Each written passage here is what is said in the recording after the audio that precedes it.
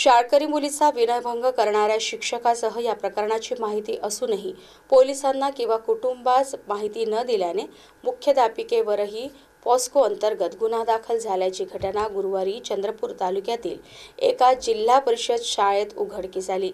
इंद्रजीत रायपुरे असे त्या शिक्षकाचे नाव आहे. त्याला पोलिसांनी न्यायालयात हजर केले असता न्यायाधीशांनी न्यायालयीन कोठडी सुनावली आहे. इंद्रजित रायपुरे या शिक्षकाने बावीस एप्रिल रोजी शाळेतील दोन विद्यार्थिनींसोबत अश्लील चाळे करण्याचा प्रयत्न केला. याबाबतची माहिती एका पीडित मुलीने मुख्याध्यापिकेस त्याच दिवशी दिली. मात्र कोणतीही कारवाई करण्यात आली नाही. दरम्यान दोन दिवसानंतर पीडित एका मुलीने याबाबतची माहिती आपल्या आईला दिली. त्यांनी लगेच दुर्गापूर पोलीस स्टेशन गाठून याबाबतची रितसर तक्रार दिली. तेव्हा पुन्हा एका मुलीशी असाच प्रकार घडल्याचे तपासात समोर आले. त्या आधारावर दुर्गापूर पोलिसांनी इंद्रजित रायपुरे या शिक्षकावर पॉस्को अंतर्गत गुन्हा दाखल करून अटक केली.